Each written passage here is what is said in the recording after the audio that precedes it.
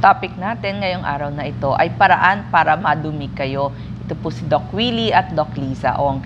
So tuturuan natin kayo paano magmasahe ng tiyan, tamang paraan ng pagdumi para matulungan kayo sa inyong pagdumi lalo na kung kayo ay constipated. Okay, constipated, may almoranas.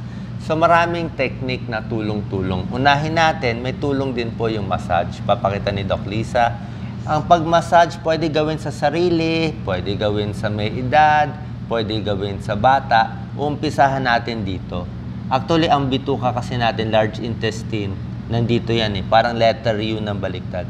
So, umpisahan natin dito.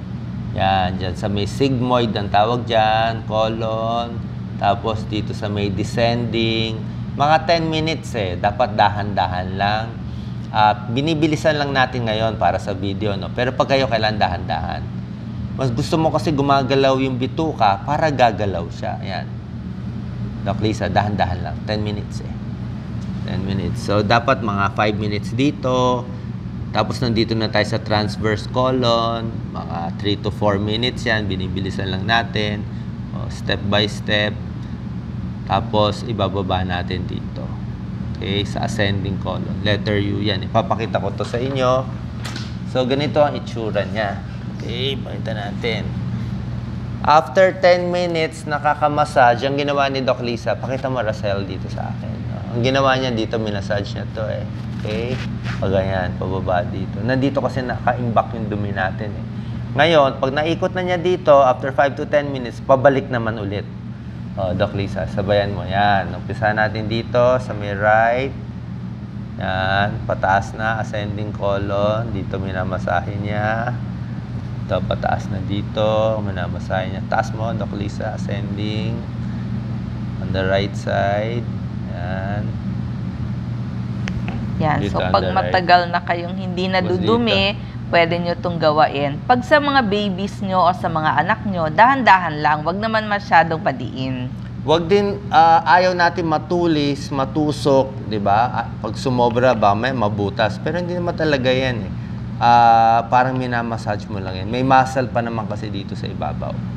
Para gumalaw-galaw lang siya. Tapos pababa ulit dito.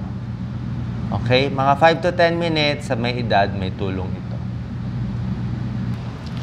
Tapos po nung masahe, ang another technique, kung nakakalakad yung pasyente, siyempre kung elderly, maganda lakad-lakad. Yung iba nga jogging eh. Di ba pag nagja-jogging ka, mas naaalog. So, mas naaalog ang tiyan.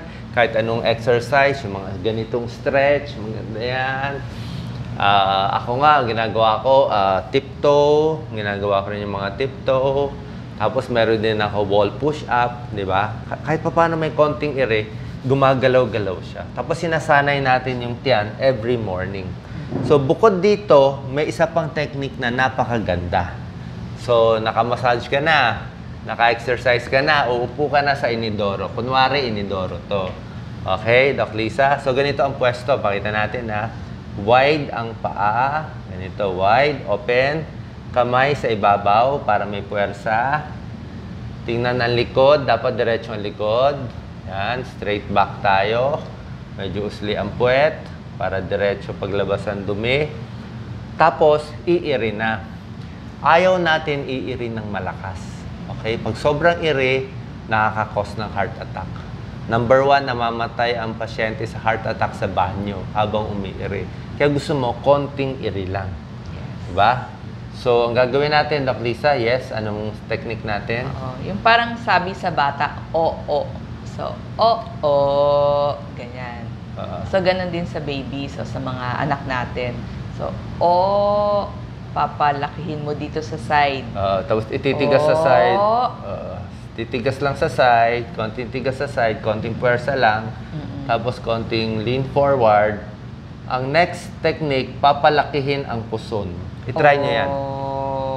Oh. Pag pinalaki nyo ang puson nyo, pwede nyo sabihin, o pwede kayo mag-inhale, exhale, inhale, exhale. Pag exhale nyo, palakihin ang puson, ang purpose ng paglaki ng puson, para mag-reflex at lumaki yung butas ng puwet.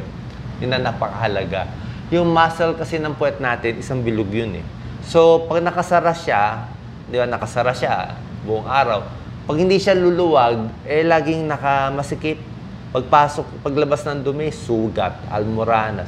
Gusto mo siya ma-relax. Eh. Kaya nga, punan tama, hinga, inhale, exhale, nag-massage tayo, nag-exercise para may pressure na. Tapos, ipapalaki yung tiyan. Sige, Doc Lisa, mag-oo ka. Oo, sige. Oh. Yan, yan. Papalakihin ng puson. Pag pina- try nyo po, pag pinalaki nyo yung puson nyo, mafe-feel nyo, yung butas ng puwet parang gusto rin niya lumaki. Lalaki siya, luluwag eh. Okay? Tapos isang technique ko, minsan mas gusto ko, pasensya na kung mga kumakain, mas gusto ko may konting dumi muna lalabas sa umpisa. Yung minsan, yung konting labas lang. Kasi pag nakalabas na konti yung initial na dumi, parang na nagkakaroon ng ano eh, nagiging basa na yung side eh. Minsan So, kasi may unang naka-plug, siya yung matigas. yung una yung matigas eh. Yun ang pampasugat eh. Siyempre, ang tagal mo hindi dumumi. So, pag nakalabas na konti, konting relax, konting push ulit. Yan. Dahan-dahan lang. Ah, ayoko yung biglang upo na isang ere, bahala ang kinab... Parang wala nang kinabukasan, bahala na. Pag binigla mo kasi, binigla mo siya, oh, bahala na. Pag binigla mo, binanatan mo, dudugo eh. Doon lumalabas ang almoranas. Almoranas tsaka dudugo. Mapupunit siya. Paglabas, pakita mo yung kubeta, puro dugo. So, sinugat mo kasi. So, dahan-dahan lang, swabe lang. May tao maliit ang butas or tight anal sphincter. So, yan ang isang technique natin, ha? Yes. So, tandaan nyo, oo technique at yung massage technique. Ah, isa pa rin na pwede natin gawin, eh, ipapatong natin yung paa. Lalo na sa mga bata kasi maikli pa yung kanilang mga bias. So, merong mga nabibili, patungan ng paa sa mga grocery. Yan, ito po. Tapos, para matulungan kayo sa inyong pag-ire. Ito po yung itsura nun. Yan, meron na ho sa mga supermarket nito. Mahal ba yan, Doc Lisa? Ah, mura lang kasi plastic lang naman siya. Tsaka mas diretso din ang nagiging daanan sa dumi natin sa puwet. Kasi ang nakita nila, pa nakababa yung paa, medyo nakatabing eh, nakaside. So pa nakataas yan, kaya di ba sa ibang bansa nakasquat talaga sila? Yes, Pa kaya lang naka- nakakalabas ng almoranas Oo. yung sobrang squat. nakasquat kasi mas diretso yung daanan. Okay, ito naman. Added tips para dumumi. Ito lagi ko ginagawa. May mga prutas na pampadumi. Okay? Katulad mga letter P, eh. Pakwan. Yan. Siguro pakwan, makadalawang ganito ka sa tanghali, sa gabi, dudumi ka na sa next day. Pwede rin ah, grapes. Yung P muna. So, pakwan, peras, Peras, pears. papaya. papaya, Mm-mm. prune juice, pwede rin prune juice, Prune konting juice. prune juice. Kada gabi po, one-fourth glass. Mga ganitong karaming prune juice kada gabi. Pwede niyong inumin. Uh, may nabibili, ah, depende, baka medyo malakas yun sa'yo. Konti-konti lang. Wag, wag isang baso, magtatai kayo. Tapos ito naman, ubas, pwede rin konti. Ito, gusto ko to eh, apple carrot eh. Hindi naman siya talaga nakakadumi, pero nakakalambot din siya. Mangga, nakakalambot din. Ang problema lang kasi, Doc Lisa, dito, masarap siya, pero syempre mata matamis siya, may fructose siya, lalo na kung diabetic kayo. So, yun pwede lang ang yung magiging gulay. problem. Kung, kung hindi pwede kayo ng matatamis dahil sa mga Mm. tumataas na yung asukal, pwede ho kayo dun sa mga petchay, kangkong, Oo. patola, okra. Yan yung mga high fiber na gulay. Makakatulong din yung mga high fiber. Ang high fiber magiging mas bulk eh, mas solid eh. Pero kung gusto mo mas malambot, mas okay itong prutas. So hahalo-haluin mo. Yes. Tapos inom rin ng maraming tubig, 10 to 12 glasses a day. Kasi pag kulang ang tubig, matigas ang dumi. Ha? Yes, tapos lakad-lakad, exercise kasi kailangan yung igalaw ang inyong bituka Oo. para madumi kayo. Tsaka alam nyo pa, may meron din connection ng stress eh. Pag very stressed ka, marami kang iniisip, nagpipigil kang ganyan, mapapansin nyo, mas tumitigas rin yung dumi. At yung pagdumi, maganda din, pare-parehong oras Tama, sa same bawat time. araw para sanay na yung inyong bituka at yung inyong katawan. Para rin yung tulog, same time every day. Okay, so kompleto yung tips natin sa pagdumi. Hopefully makatulong tayo para iwas sa almoranas, sugat sa puwet, at constipation.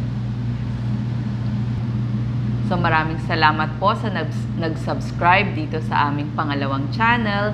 Ah, ituturo natin dito yung mga women's, pangbabae na mga topics para mas ma-reach out natin ang ating mga kababayan. So thank you very much sa inyong suporta. No?